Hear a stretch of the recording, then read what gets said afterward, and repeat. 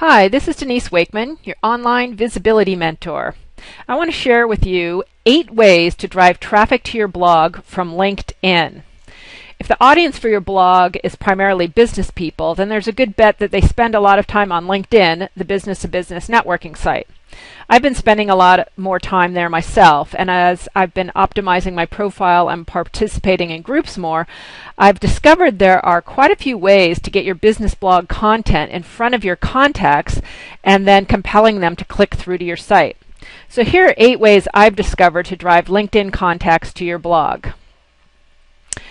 First, make sure that you have a link in your profile, the very minimum. Make sure to customize the label of the link rather than using the default label my blog. And when you're on your on the edit profile, you see that there's a little um, link there that says edit next to websites and you can just change the name of the site. Number two, auto post your blog updates to your status. You can use a social media management tool like Hootsuite uh, if you use FeedBlitz to deliver your blog updates, you can enable the option to automatically post to LinkedIn as well. You can do a, also do a search for WordPress plugins to auto post, and there are quite a few, so you'll want to pick the one that works the best for you.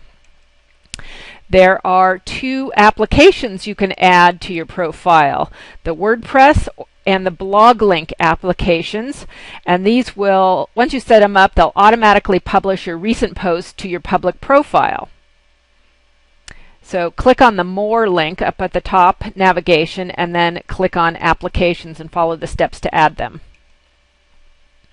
Set up a company profile. This is different from your personal profile.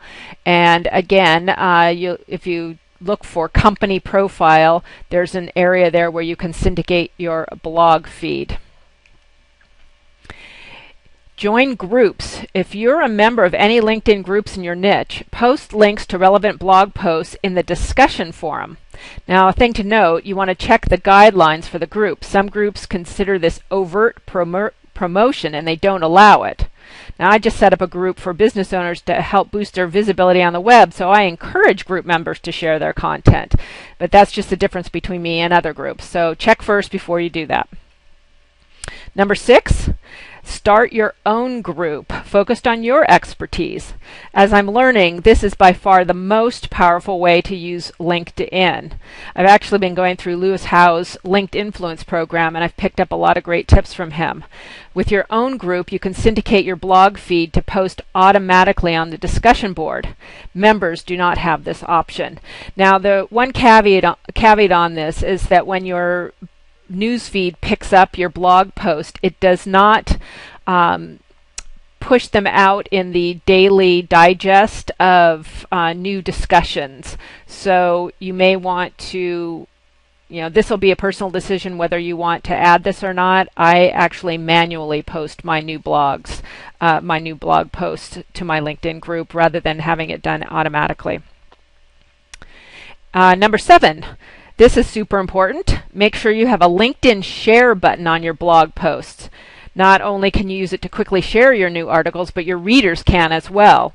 The powerful part of this button is that in one step you can share your status, uh, share your post to your status box and to any groups you're a member of, if it's okay. Remember. So this is a this is a really fast, simple way to get your your content up on LinkedIn. Then uh, the final way to get your blog posts out to members of LinkedIn, your contacts, is that um, use the answers feature. So answer questions in the answers section, and if impro- appropriate, include a link to a blog post that specifically addresses the question you're answering. So you can see here where the little red arrow is that um, I answered the question and then I put a link to more traffic tips, uh, which was the um, subject of this question.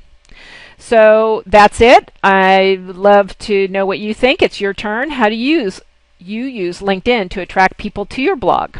If you'd like more tips like these about boosting your visibility on the web, you can get a free e-course with seven simple implement tips at boostyourvisibility.com. Until next time, this is Denise Wakeman. Blog on!